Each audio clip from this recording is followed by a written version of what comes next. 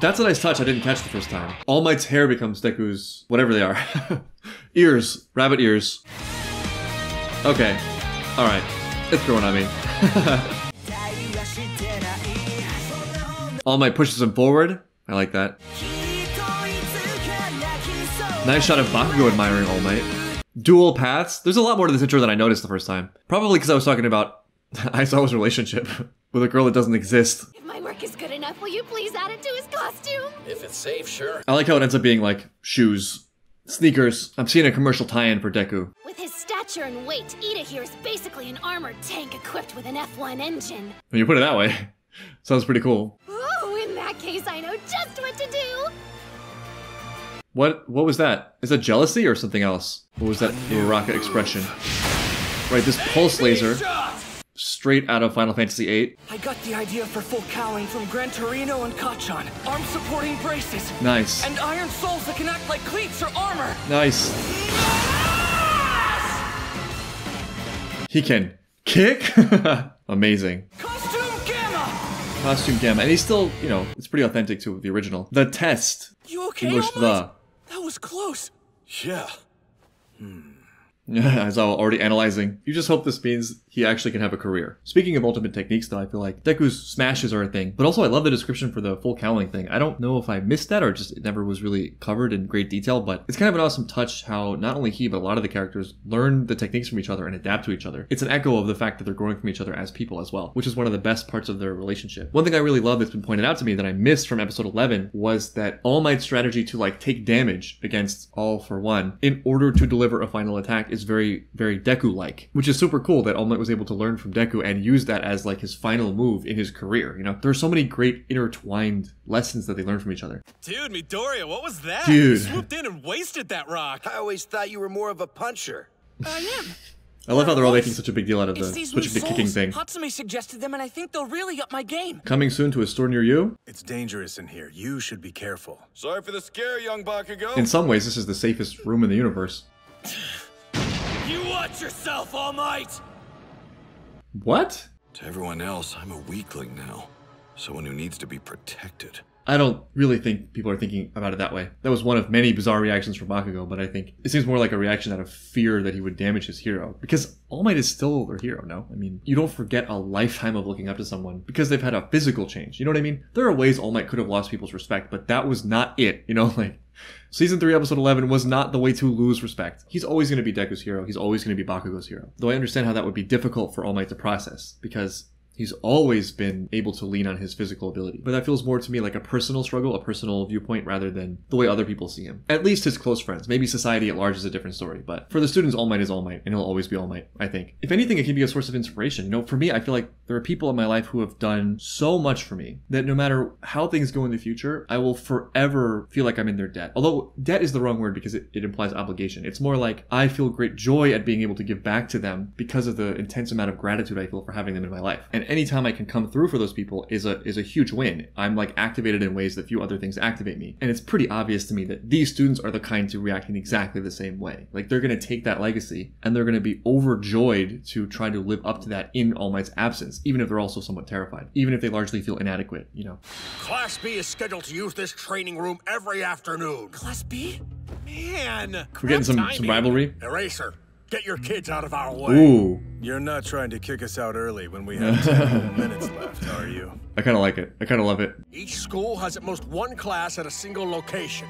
How sad we won't be able to face each other directly.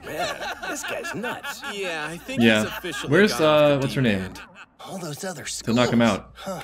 Interesting. That is interesting. So they're not transfer students that I saw in the intro. They're other schools, which is pretty cool. I feel bad for The, the, other test will schools, be made honestly. up of students who've trained longer than you, and with quirks you don't know about. Well, that out, that balances it out somewhat. Some of them are dragons. I need time to develop my quirk and improve my general endurance. I thought it was the two about you, items at once. I perfected a move that makes me even more frog-like than before. That is amazing. I'm sure even you'd look surprised, Toru. What's your story, Ochako? Yeah, what's eating her? Something's on her mind. Who is it, Midoriya or Ida? You're always out with those two. It is not Ida. It is not Ida. Let's not forget what happened to Ida's jet engine conversation when Deku showed up in the hallway. I'll put it in Attack on Titan terms. If they're the trio of Eren, Mikasa, and Armin, Uraraka is Eren, Ida is Mikasa, and Deku is Armin. Have you heard about my friend Armin? He's the best.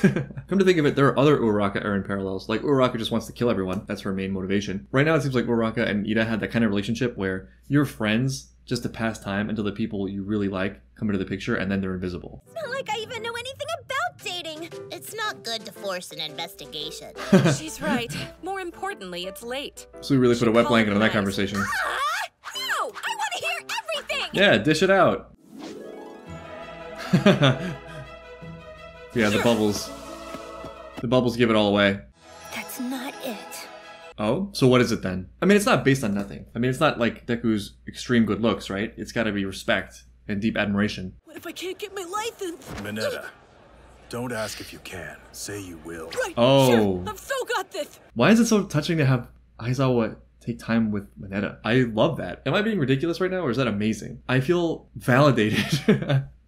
for some reason because of that. Because i'm like looking for goodness in mineta as well. I'm like deeply frustrated by the fact that it's not being explored enough. But if it's good enough for aizawa it's good enough for me. Just imagine how satisfying it would be if mineta becomes amazing. Imagine if people like aizawa didn't give up on him and guided him into something better. Wouldn't that be like the ultimate thing to reach for? It's tough because there's a meta consideration which is his perversion but isn't it too easy just to give up on them? Doesn't that defeat the purpose a little bit of like the idea of growth and potential, pushing through challenges, authenticity, you know? You novice eggs will hatch into chicks. You'll be semi-pros. That's hilarious. They graduate to expect chicks. your best. All right. I can't wait gonna to get a it. heroic chicken. Let's call out the usual, you guys. Is this Team Rocket? Team Rocket is here. Ultra! Who are you? I am so very extremely Now that is about. Who is this guy? I do not trust his enthusiasm. UA in the east, Shiketsu in the west. Well, that's a nice way of building respect for them. What is he? high. What is this, I this wanted man? to say it just once. Is he a Wookiee? Ultra! See, I really love UA High School. I guess UA students are not the only ones with passion. That has become abundantly clear. Looking forward to it. Damn. Blood. Let's go. He bled from his forehead, forehead, no less. He's the same year as you all. I like this guy the already. top scores for students admitted through recommendations, but for some unknown reason, he turned down his acceptance to UA. Huh. Got a personal reason. He must be even better than Todoroki. Interesting. Inasa Yoarashi from Shiketsu High School. I'm not gonna get that name, but I like this guy a lot already. That was a great introduction. Powerful and funny. Hold on, is anyone else confused here? Yes, what is this man and why is he a Wookiee? He turned down his chance to enroll when it was offered? Yeah. What a weirdo. It's not that weird. There are a lot of reasons for that. We saw you on TV and at the Hey, it's his girlfriend festival, but it's in- been a from the while intro. since we were this close in person. Let's get married. No. I was more right than I thought. Oh, that's Miss Joke, the Smile Hero. Her quirk is outburst. now that is definitely she a name people for a around hero. her to laugh, which affects their ability to think and keeps them from being able to move. I guess Aizawa cast neutralize on on her joke. You'd have a future That sounds like an actual nightmare. Why am I laughing more at Aizawa's jokes? Over here, everyone. This is UA.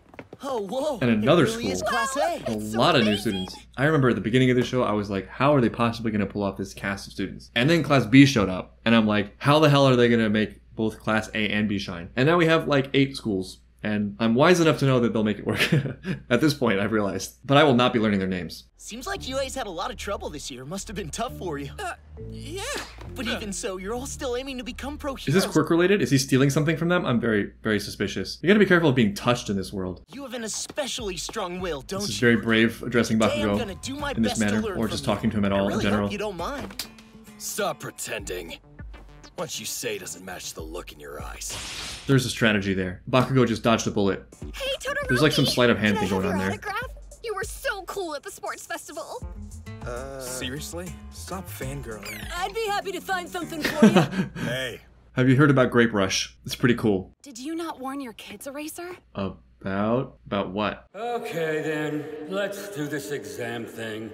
I'm from, uh, the Heroes Public Safety Commission. This guy had a late night. Maybe someone should give this guy a break. Doesn't exactly seem safe. Yeah. Basically, 1,540 examinees compete in a free for all exercise. Look at the chicken whatever. dude. There's a there's a chicken dude in, in there. Okay. That got me really excited for some reason. And since Stain was arrested, many people have expressed doubts about the status of heroes in society.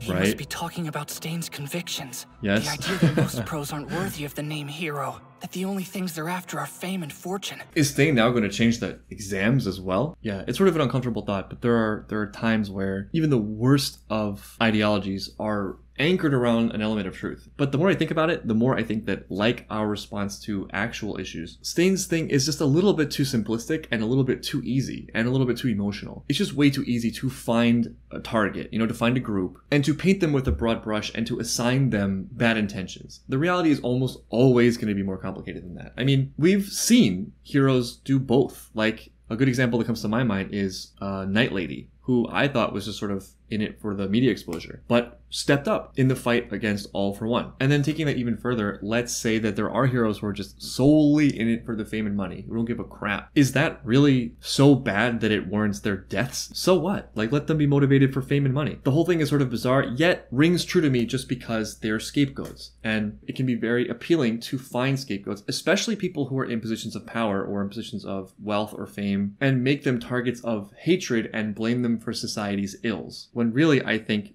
often society's ills are way, way deeper than that and, and start at the base. You know, they start with beliefs of the individual people in the society. We like to see groups in a vacuum, but the reality is everything's interconnected. For example, I see so much hatred and ire directed at, at the rich. And while I definitely understand that sentiment, I feel like it misses so much of the picture. Like, for one, the fact that people don't get rich in a vacuum. They get rich because people choose to buy their products or services, typically. Maybe people inherit money, but at some point, someone in their lineage did that thing and offered services or did something that allowed them to grow their wealth. And then the question is like, why shouldn't parents have the right to pass money down to their kids. This is barring out like corruption, which of course is a real thing, but I, you know, I think not really the main the main way people get rich. And then another idea is that they're greedy because they're not sharing wealth. But that opens up a whole bunch of questions for me as well. Like, well, if the goal is to always distribute money down, why doesn't everybody who lives in comfort give everything they have to people below them? Because most people are the wealthy to someone else. So why is there this double standard where the wealthy have to give to us, but we don't have to give to people less fortunate? And I think there actually is an answer for that, and that is because on some level we recognize that just giving does not actually solve any problems. It just delays the problem because the problem of resources and wealth is largely based on infrastructure and innovation, growing the size of the pie rather than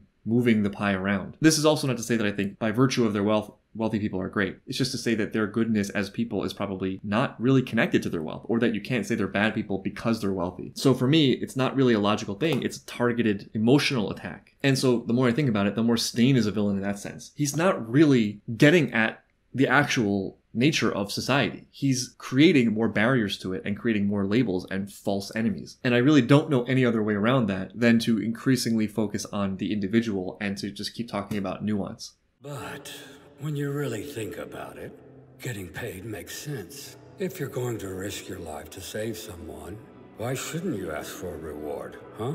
To me, it's sort of disconnected. It just is what it is. It doesn't speak to evil or goodness. It's just money. We've got too many heroes working together in the streets these days to keep villains at bay. Honestly, Why? Why the too time many? between when an incident begins and when it's resolved is ridiculously short. Isn't that a good thing? This guy needs some sleep. I mean, obviously, but The first hundred students to fulfill Hundred? the requirements will pass today. There are over 1,500 people taking this that seems test. unfair to have a, a quota like that. Shouldn't it be based on merit? This whole thing's messed up. See, he's falling, he's succumbing to the weird stain pressure. Weirdly, I feel like this scores points for stain because this is so arbitrary. This is something I suspect will come up, and I think the more it's true, the worse it is for Hero Society. The question is, how big of a connection is there between the hero title and the government? And also, is hero just a license term, or is it actually a values and actions term? If it's just a license term, if it's just people the government choose, let's say, or whatever bureaucracy this is chooses, then you're sort of at the mercy of whoever's at the helm of those things. And so it's not necessarily going to be good. And this really seems like an arbitrary and random decision that doesn't inspire a lot of confidence in this administration. Each of you will also have six of these balls. The targets are programmed to light up whenever they've been touched by the ball. It's like human Quidditch. It's similar to the entrance exam, but going against people will be a lot harder than robots. And also, certain people are at a natural advantage, although I guess that's that's often the case in these exams. And for what?